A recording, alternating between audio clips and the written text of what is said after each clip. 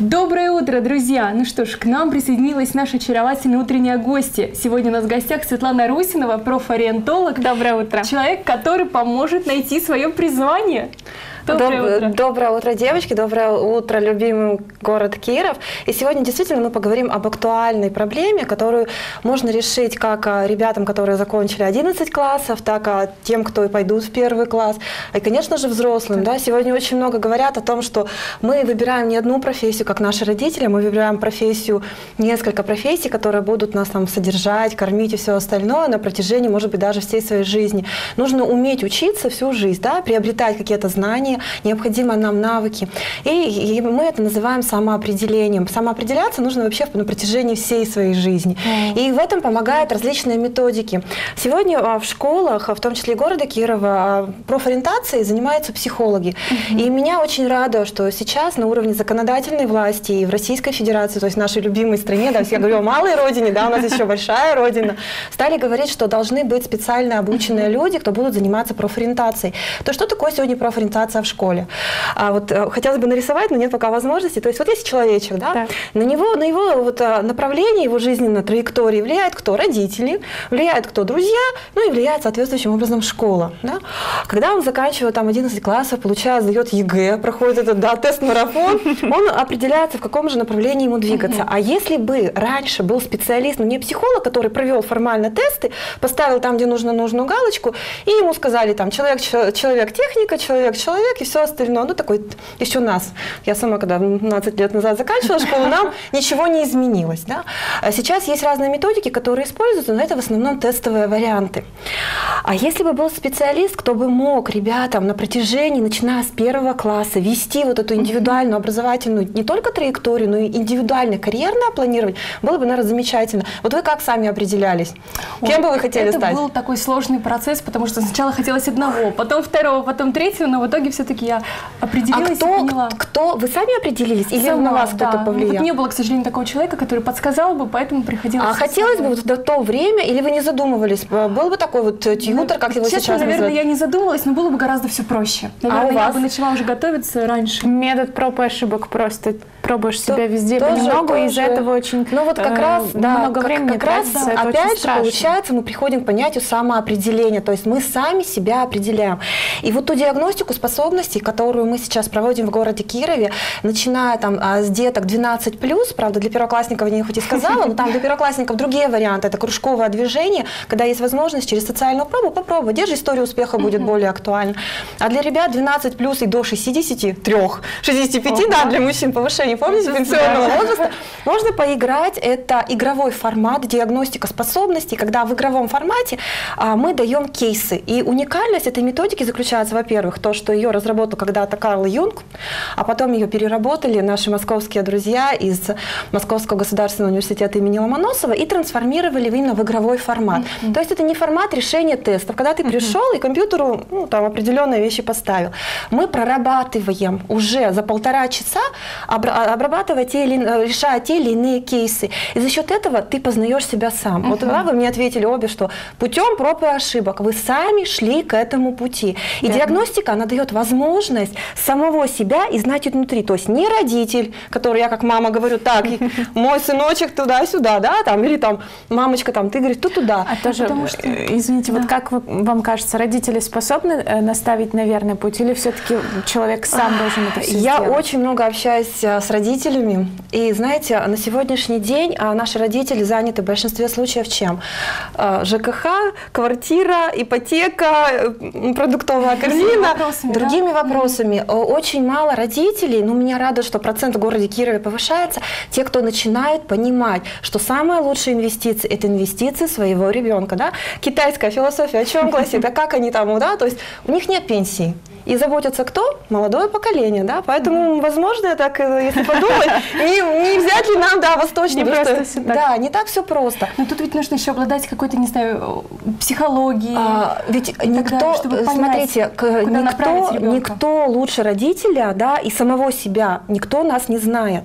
А, что бы ни говорил дядя там или тетя, которые пришли там в класс и говорят, поднимите эту нужную карточку, это люди, которые наблюдают со стороны. Угу. Родители это могут помочь, но, конечно, в этом случае как инструмент приходит специалист, который разбирается в детской психологии, в особенностях развития, развития рынка труда на сегодняшний день, перспективных профессий, которые меняются под новыми технологиями. Сегодня очень много говорят об атласе новых профессий. Мы знаем, что некоторые профессии уходят, потому что появляются технологии новые, и, соответственно, спрос на эти профессии возрастает. Будут так называемые сквозные компетенции, то есть набор компетенций, который пройдет через все профессии. Это робототехника, искусственный интеллект, умение программировать, это 3D-технологии. И опять же повторю, что меня радует, что в городе Кира родители стали задумываться об этом, что это как кубик Рубик, который мы будем крутить, и в зависимости от отрасли, куда мы попадаем, мы будем трансформировать свое сознание, но это лучше начинать сейчас делать. Ну да. и что, что же нужно сделать? Что же понять, нужно сделать? А нужно а, отдиагностировать, вот как раз по данной методике, методика очень хорошо себя на сегодняшний день оправдывает,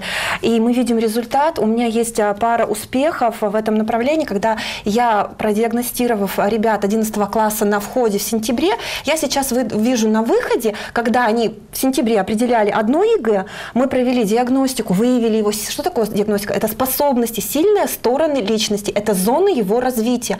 То есть, попадая в ту или иную среду, ты понимаешь, что у тебя есть коммуникация, есть эмоциональный интеллект, ты сможешь работать на телевидении, да, опять же, то есть это тот конструктор компетенции, ты будешь подстраивать. Или наоборот, ты интроверт, человек, которому нельзя работать, ему сложно, он не может публично. Лучше с бумагами, наверное, с документами. Да, а это айтишники, айтишники. Я сама столкнулась, опять же, да, все идет же от своей боли, от своего личного такого направления. У меня сын интроверт а я экстраверт, и мне О, очень сложно в этом направлении уживаться. То есть мне приходится, каким образом? Мне приходится принимать интроверта и понимать его уровень принятия решения. Поэтому мне сейчас тоже хотелось узнать, кто же вы у нас. Так, Такой да, небольшой, давайте мы так по эксперимент. Да, да, да, да. Кажется, что нельзя нам с тобой на телевидении работать. Что будем делать? Нет, девчонки, как бы, вот смотрите, всю диагностику я не смогу представить, что полтора часа, но маленькие фрагменты определить, там определяется четыре типа основных, которые влияют на сильные стороны и зоны развития. А, поэтому мы начнем, наверное, с экстраверсии, опять же, и интроверсии. Я сейчас вам а, скажу две пословицы, а вы просто выберете а, та, которая для вас больше приемлема. А, как вы принимаете решение? А, семь раз отрежь, и один раз отмерь, и семь раз отрежь. Или вяжемся в бой, а там разберемся. Вот мне второе ближе. Вяжемся. Да, вторая ближе. То есть вяжемся в бой, а там будем да, разбираться. Там и вот а, чаще всего это такой тоже первый вариант, когда мы начинаем диагностировать, но диагностика по экстраверсии, интроверсии там нужно рисовать, угу. а 15 минут вы идеальную комнату здесь мне не нарисуете, и эфир закончится. Поэтому чаще всего люди интроверты, это люди, которые взвешенно, обдуманно принимают решения. Они сначала, да, от, отмерят, потом начнут отрезать. А экстраверты, они в бой, а, там, а по ходу разберемся. Если что, это люди очень гибкие, которые, да, которые могут очень быстро приспосабливаться по те или иные условия угу. и менять эти условия. Ну, я не буду говорить, я не буду говорить про наших депутатов, но есть, очень сильные личности, которые так вот мне, например, очень импонируют. Отлично. И еще а, есть у нас такое понимание, а, в, в диагностике мы определяем мышление и чувства. Часто люди, да, кто-то мыслительный uh-huh. процесс, и вот здесь идет ошибочно. Почему-то все думают, что интроверты, они мыслители. Нет, экстраверты, они тоже, принимая решения, мыслительными, а не чувствами. Ну да, там обычно говорят, мужчины у нас логики, женщины там у нас, да, это немножко совершенно по-другому, там, верим в чудеса. И сейчас такой небольшой вам а, экспресс-тест, потому что я очень вообще в обучении сейчас преемница, во-первых, проектной деятельности, а во-вторых, интерактива актива. Угу. Да, прошло время, когда мы там сидели и что-то делали. А, значит, а, девчонки, вот смотрите, вы работаете на телевидении, да, а, вам дали проект очень крупный, хороший проект, федеральный, да, есть возможность выйти на федеральный уровень. И вы набираете, значит, у вас одна команда, у вас вторая команда. Вы набираете людей себе в эту команду, предположим, 10 человек. За победу на этом федеральном уровне вы получаете путевки на отдых. Вот куда вы хотели? Давайте полетим, например... В Испанию. Да, в Испанию. Дети у меня любят Вартек, да, как это мысление. Ну, мы с вами в Испанию полетим, значит, вы получите на всю команду, да, вот на 10 человек, в том числе включая вас как капитана этой команды, командира этого проекта, вы получите эти путевки, того 11. А, значит, э, вы работаете над проектом, все как бы хорошо, все идет по плану, выигрыш уже не за горами, и вдруг э, у нас повышение НДС 20% получается, ну, евро, доллар там возрастает, и вам а, говорят о том, что, ребят, извините, вот мы хоть и федералы, но не рассчитали немножко вот здесь вот свою, свой бюджет, поэтому вам, к сожалению, придется отправить только из 11 э, человек, вот, да, вашей команды, которые вот они действительно поработали, они все там здорово, как замечательно, вы уже прямо в финале, но путевки получат только 8. Вот каким уровнем вот вам нужно принять решение как а, капитану, командиру проекта? Я не вот люблю такое. такие вещи. А это важно. Это вот как раз мы с этим кейсом, там еще есть другие кейсы, но вот один из кейсов, который мне вот очень импонирует, опять же, ведь видно, да, там как а, взрослый, как а, школьник даже, да, начинает принимать решения. Итак, каким образом? Ох, начнем с тебя. Начнем с Елены. Ну, то есть победители у нас 10, я так понимаю, да? А у нас победители вообще все вообще 11, все, да, все 11 человек. человек, но путевок всего 8 не знаю, я предлагаю сдать все эти путевки и купить путевки подешевле, чтобы хватило на всех. Ну, кстати, это классный вариант. Но вы не слушаете ее, вы как будто Нет, не я, слышали. я думаю о том, что все-таки отдала бы эти 8, пути, 8 путевок, да, mm-hmm. тем, кто действительно хорошо потрудился. Даже не, а хорошо не потруди... внимания хорошо, себя. Хорошо потрудился. По каким критериям вы будете это? А У вас или, или сложно. А вот это очень важно. Я сейчас начинаю, с вами все понятно мне. Я, уже с вами все поняла. Вот с девушкой хотелось бы так это немножко покопать. В чем, проблема? Тут смотря от того, как, как, какой вообще проект. То есть есть э, люди определенный монтаж, есть э, сборка, есть те, кто корреспонденты выезжают, и вот в зависимости от того, кто вот прям ну вложился до конца. Значимость, да? Или нет? Нет, не значимость. А что? Вот прямо вот 24 на 7 работаешь, работаешь, вот кто так сделал, тот и молодец, тот и едет. Возможно, это даже был бы не э, автор проекта, да, а вот кто-то другие люди, но вот они так сделали. То есть а, сложно. вы а, сложно. Смотрите, мне сейчас а, вы а, принимаете решение чувствами. То, что угу. вы сказали, я все сдам, и во благо людей, для вас благо людей, вот тех людей, которые работают с вами, это для вас вообще понятие команды очень важно, да, хотя для нее тоже важно. Но тем не менее вы сдаете путевки, тоже один из вариантов решения угу. этой проблемы, этой проблемы возникшей, и вы покупаете наиболее дешевые. Но вы подумали обо всех, да? Вы никого не удалили из проекта, да? Всех, всех, всех 11 человек вы отправляете. Сейчас все подумают, что со мной работает работать опасно. В Испанию. Не в Испанию, а там, я не знаю, куда. Краснодарский край, как один из вариантов. Ну, вы отдыхаете, да. В Испанию, а. но в три звезды, не в пять. Ну, тоже вариант. А, значит, а с вами.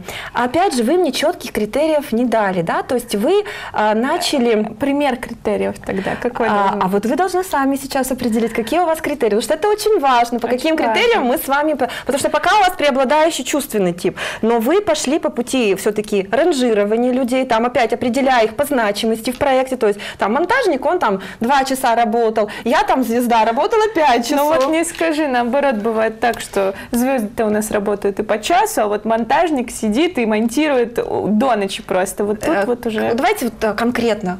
Критерий. Конкретно. Ну, те, кто потратили на работу больше всего времени. Вот так вот больше всего времени. Преобладающий тип мышления, поэтому у вас, да, у вас в этом направлении, то есть два кейса нам да, позволили решить, что вы обе экстраверта, да, оба экстраверта, но один с преобладающим типом чувства, второй мышление. А, там четыре диапазона, которые мы складываем и как раз вот прорабатываем вот этих кейсов. То есть мы не только говорим, мы рисуем, мы пишем. Мне очень нравится кейс на деньги, еду. Там вообще там даются, там даются 10 характеристик сначала еды, 10 характеристик денежек. И когда 5 пропишешь, еще 5, вот как раз, знаете, вот это, как называют доктора, вот это вот все-все-все, да, изнутри, а ведь, э, ну, я, конечно, не психолог, профориентолог, это специалист, который на стыке и психологии, у меня есть базовое образование, и знание вот а вообще развития карьерного планирования, да, специалист, и знание рынка на сегодняшний день труда, потому что я знаю, опять же, что есть технологии, которые пришли, и тех технологий, то есть это умение прогнозировать ситуацию. И вот еще напоследок, наверное, хотелось бы отметить, что нам а, такой хороший, мне кажется, сейчас хэштег может появиться, не бойся пенсии, а действуй, да? Кстати, Светлана, по поводу пенсионеров хотела спросить. Многие же сейчас хотят работать. Да, да, вот знают, это, это, вот себя. эта диагностика, угу. то есть а, в конце этой диагностики самое интересное, наверное, мы выдаем вот такой отчет угу. о типах, и в конце этого отчета а, мы видим, а, значит, это профессиональное предпочтение. В этих профессиональных предпочтениях есть рейтинг для угу. данного типа, да, который мы определили определили сами, а не компьютер определил. То есть вы сами своего, да, изнутри, да, а я просто вам помогла, да, упаковать это. Интересно. То есть мы даем наиболее предпочитаемые сферы деятельности, то есть исходя из ваших сильных сторон и зон развития, и те, где вы наименьший успех будете достигать. Да, приходит не в своей тарелке. Это вот как раз, чтобы не быть в своей лодке, а я называю это яхтой на сегодняшний день красиво так. Вот э, обязательно даже людям, кому за 12, э, эта методика, мне она близка тем, и а, людям, которые работают в нашей команде, а, тем, что ты сам себя. То есть, опять же, это повторю, да, что важно. родитель, да, и угу. ты сам себя можешь только познать, а мы просто помогаем в этом. Ну, это очень интересно. Даже вот сейчас мы два кейса, да, да э, с Еленой успели раскрыть для себя, поэтому, друзья, если вы еще не знаете, кем же вам быть, или вы чувствуете себя, как уже сказали, не в своей лодке, не чувствуете Значит, себя пора на яхте. что-то менять, друзья. И именно, может быть, самый тот момент настал, что нужно обратиться к профориентологу и узнать, к чему же все-таки лежит ваша душа. Кстати, вопрос профориентологу. Как вы начинаете свое утро? А, свое утро я начинаю с улыбки, потому что знаю, что а, счастье и успех улыбаются тем, кто улыбается ему. Это прекрасно. Это прекрасно. По-моему, это отличное начало дня, отличное начало утра. Ну что ж, мы благодарим Светлану за прекрасную э, информацию, которую вы сегодня нам сказали. Я уверена, что многие взяли на заметочку.